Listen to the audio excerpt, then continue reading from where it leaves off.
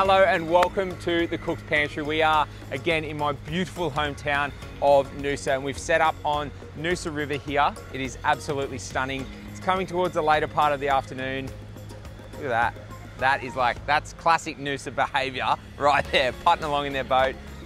Anyway, I'm not jealous because I'm going to be cooking up a beautiful little stir fry. I know we all love a stir fry. I think it's everyone's go-to in the house when you're running out of time. You want a really quick, delicious dinner. This one, I'm going to be working with some beautiful South Australian squid. This combination kind of came about uh, at work.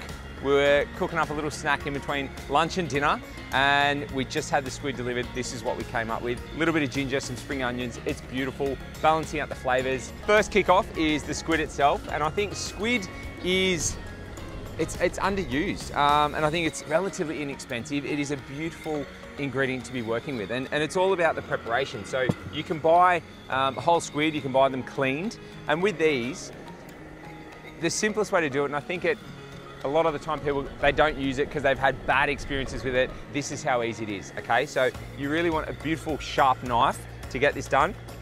And we're just gonna go straight into that pocket and slice it open.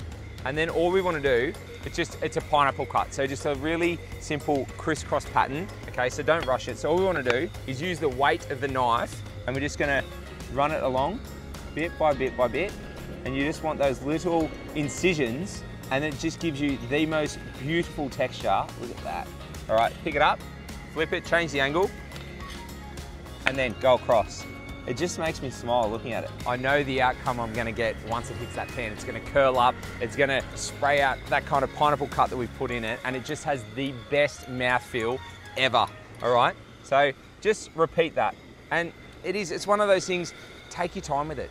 Take your time, don't rush it, don't get frustrated with it. Take your time, and you will most certainly get the results.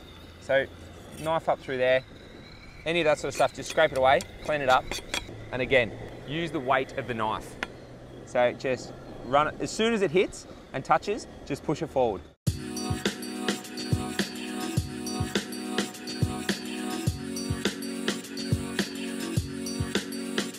Now what we're gonna do, just cut it into our bite-sized pieces and transfer them back onto the plate. And I think, I reckon this stir fry is probably one of the most common things in the households in this country. You know, you will find that in order to nail one, you've got to go a little bit heavier on the prep. So your prep will take a little bit longer, but cooking the dish itself should be lightning fast. So that's exactly the position we want to be in with the squid. Now, very, very simple ingredients, spring onions and ginger. So just gonna give these a nice fine slice. You'll notice the whole time I've been cooking, I've had this thing roaring because I need it to be incredibly hot in order to cook that squid perfectly. Good hit of ginger, just tidy it up. And we just want some nice ginger batons or a little julienne. Uh, it's just, there's sometimes you want really fine ginger. You want it to, I guess, disappear into your sauce and you, you, I guess you just want that hum of it. In this one, I want it for a little bit of texture as well. So I want to be biting in to a nice matchstick of ginger to give me that burst of warmth.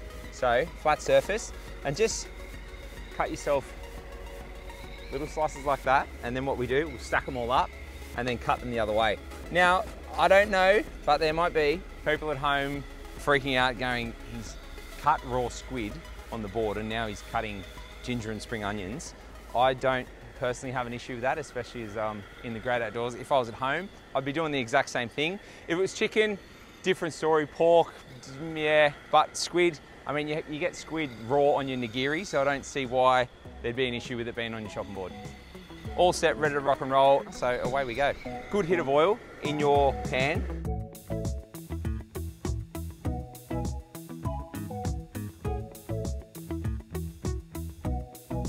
So ginger and spring onion been cooking off now, sizzling away for about a minute. I reckon we can go in with our squid. So we're just gonna drop this around. That's gonna take a matter of minutes. A little bit of soy, good hit of sriracha, and then a little sprinkle of brown sugar just to sweeten it up. And we are almost there.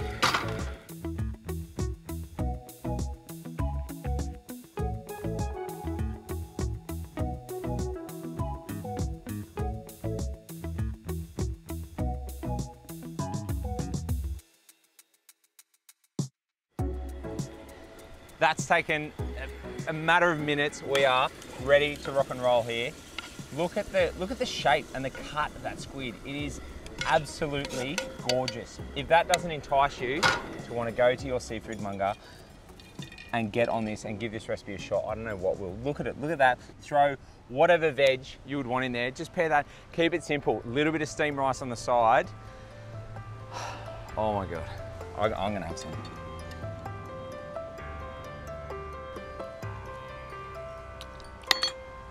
A little bit spicy, a little bit sweet.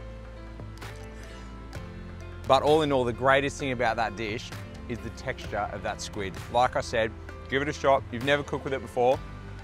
Take that technique, good old pineapple cut. I know you're not gonna forget that term. Take your time with it, enjoy it, and produce that.